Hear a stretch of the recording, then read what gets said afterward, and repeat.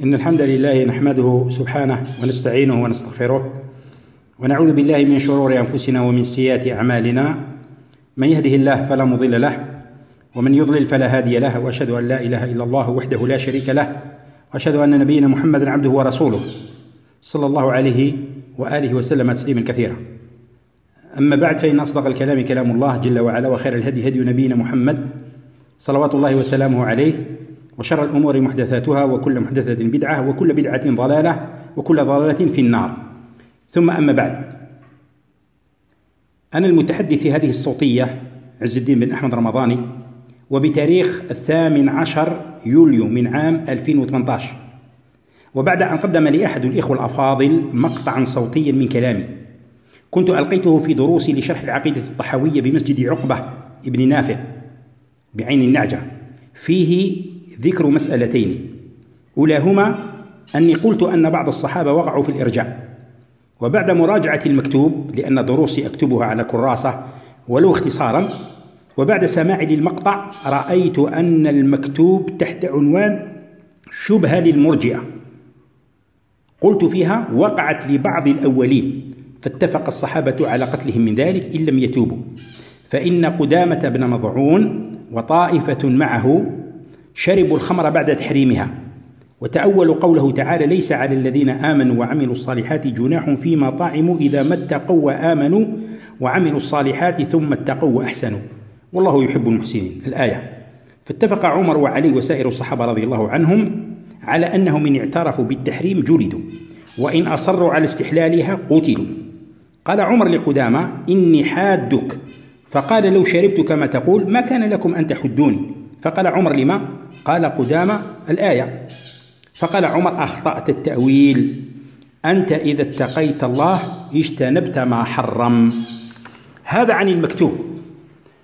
وأما عن المسموع فلم يتبين بعد سماع الشريط أني قلت أن الإرجاء ظهر في عهد الصحابة وإنما قلت هذه الشبهة. وفرق بين التعبيرين. ومع ذلك فإن ثبت هذا الذي ادعي علي بأني قلته فأعترف أنه خطأ ظاهر أتراجع عنه. وأستغفر الله مما وقعت فيه. وغرني في ذلك نقل ابن أبي العز رحمه الله في شرحه على الطحوية. وهو في الحقيقة لشيخ الإسلام ابن تيمية لكن لم يعزه إليه. وذلك قوله رحمه الله وهذه الشبهة وقعت لبعض الأولين فاتفق الصحابة على قتلهم إن لم يتوبوا من ذلك وهي الخطأ في التأويل لا الوقوع في الإرجاء. فلم أدقق في المسألة وهذا من تقصيري. أسأل عفو الديان الكريم. هذا عن المسألة الأولى باختصار. أما المسألة الثانية فهي مسألة حمل المجمل على المفصل في كلام أهل العلم. وهذا خطأ بين واضح وقعت فيه أستغفر الله من هذه الزلة وأتوب إليه. لا يحمل المجمل على المفصل في كلام الناس بل في كتاب الله وسنة رسوله صلى الله عليه وسلم. وقد استنرت أقول بما استنرت بمقال الدكتور عرفات حفظه الله الذي أرسله إلي الأخ الفاضل. بتقريض شيخنا الشيخ عبيد الجابري. ساق فيه جزاه الله خير. تسعة أدلة صحيحة ثابتة عن رسول الله صلى الله عليه وسلم. تبطل دعوى حمل المجمل على المفصل. وكان ذلك يوم الخميس من شهر ذي القعدة عام 1439 الموافق للثامن عشر يوليو عام 2018 للميلادي.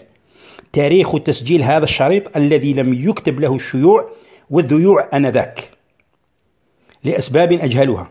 وها أنا أبعثه من جديد آمنا تصحيح ما سبق به لساني أو زل به قلمي وأرجو من طلبة العلم ومن غيرهم ممن يستمعون إلى دروسي ألا يبخلوا علينا بنصائحهم وانتقاداتهم واستدراكاتهم فإن هذا مما يزيننا ولا يشيننا ويرفعنا ولا يسقطنا ورحم الله عبدا عرف قدر نفسه فأقبل على إصلاحها وتزكيتها بما ينفعها في الدنيا والآخرة.